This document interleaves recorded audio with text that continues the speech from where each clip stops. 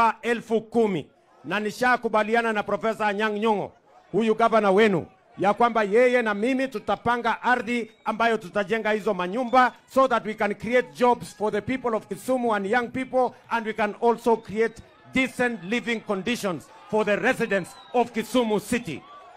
Mimi nataka niwaulize nyinyi, mnataka watu wa Kisumu City waishi kwa slum? Hapana, hapana, hapana, hiyo ni makosa kubwa sana.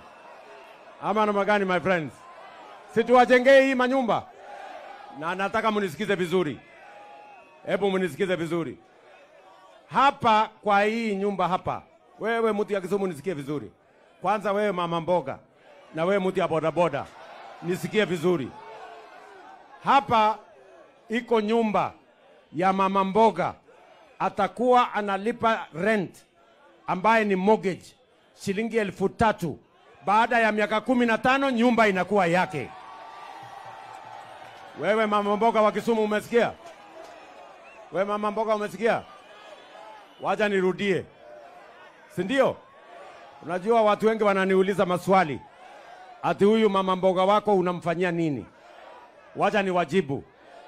Wewe mama mboga unisikize, kwa hii affordable housing hapa 20% ya hizi manyumba iko hapa, kwa hii nyumba elfu mbili ya kwa hii nyumba elfu mbili nyumba mia tano ni ya kina mama mboga na watu ya bodaboda. Muko tayari? Na rent, sikia wewe, Re, ile mortgage ya wewe kupata nyumba hapa ni shilingi elfu tatu kila mwezi. Ni kama ile pesa unalipa kwa hii nyumba ya matope hapa na hiyo nyumba ingine, lakini mnasema niondoe hii Aya, wacha nimalize hii alafu nitahamia hapa. Hii yote nitajenga niweke ghorofa, ama namna gani? Tunaelewana? Na niwapatie hii nyumba, mtakuwa na pesa kidogo, inakuwa nyumba yenu. Tuko pamoja?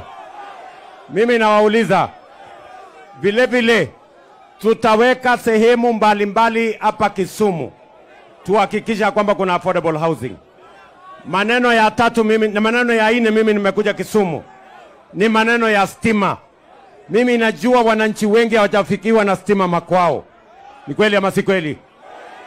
Ndio nimesema ile program ilikuwa imekwama ya mambo ya last mile connectivity, sasa nimeikwamua na watu wa Kisumu nimewapatia awamu ya kwanza milioni mia nane. Tuunganishe watu elfu kumi na mbili kwa huduma ya stima hapa Kisumu County.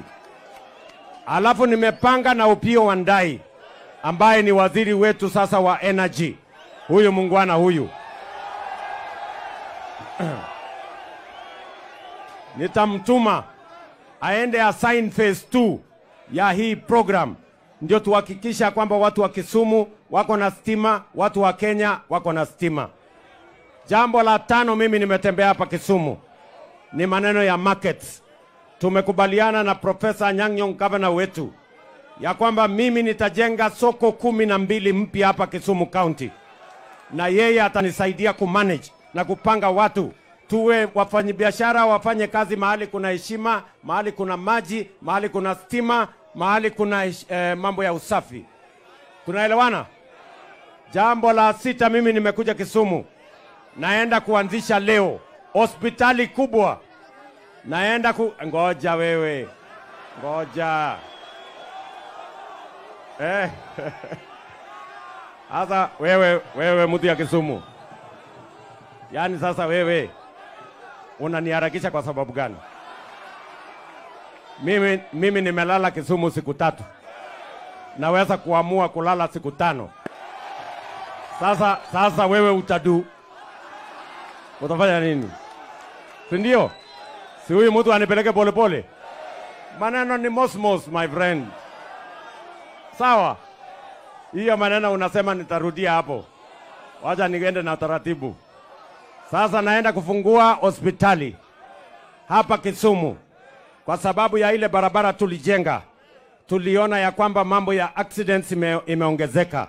Sababu hiyo tumejenga hospitali kubwa ya shilingi milioni mia nane Leo mimi naenda kufungua na kuhandova kwa Anyang' Nyong'o aweze kuendesha hiyo hospitali na watu wa Kisumu County. Tunaelewana jameni? Alafu tuko na vijana wengi watafanya kazi hapa, lakini mimi najua ya kwamba vijana wote hawawezi kutoshea hapa, si ndio? Mimi nataka niwatangazie vijana, vijana muko? Kisumu dala muko?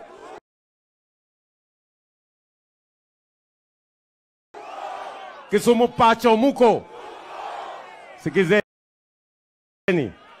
nimesema hivi, baada ya mwezi moja, si ndio, nitarudi hapa na mpango mwingine wa kupanga ajira ya mtaani ya hawa vijana wa hapa Kisumu hapa chini, na sio Kisumu peke yake, Kenya mzima. Wanisaidie kupanga mambo ya mazingira, wanisaidie kupanga mambo ya usafi, wanisaidie kuhakikisha ya kwamba ile shida ya climate change isitutatize tena kama Wakenya, isituletee maafa na isituletee matatizo. Nyinyi vijana mko tayari kwa hiyo kibarua? Mko tayari? Sasa wewe mtu ulikuwa unaniendesha haraka haraka, si unaona mimi niko na mpango ama namna gani? Kwa hivyo watu wa Kisumu, mimi nataka niwashukuru sana, niseme asante sana kwa kutupokea. Mwisho kabisa, mimi nataka niwaulize, mimi na Mheshimiwa Raila Odinga tumekubaliana ya kwamba tumalize siasa ya ukabila na siasa ya migawanyiko na siasa ya ubaguzi, tuunganishe Kenya iwe moja. Ndio sababu hiyo mimi nimeunda juzi baraza la mawaziri ya kuunganisha Wakenya wote. Mimi nauliza nyinyi watu wa Kisumu, mnakubali tuunganishe Kenya jameni? Mnasema tuungane ama tutengane? Mnasema tuungane pamoja? Hebu ni wale wale wanasema tuungane pamoja, pamoja, pamoja, pamoja. Kwa hivyo mimi nataka niwaulize viongozi wote, sisi wote tuungane, tuunganishe Wakenya, tuwache siasa duni ya ukabila, tuwache siasa ya kugawanya Wakenya kwa mirengo ama sehemu ama majamii. Sisi wote ni ndugu moja wa taifa moja, with a common destiny, the people of Kenya.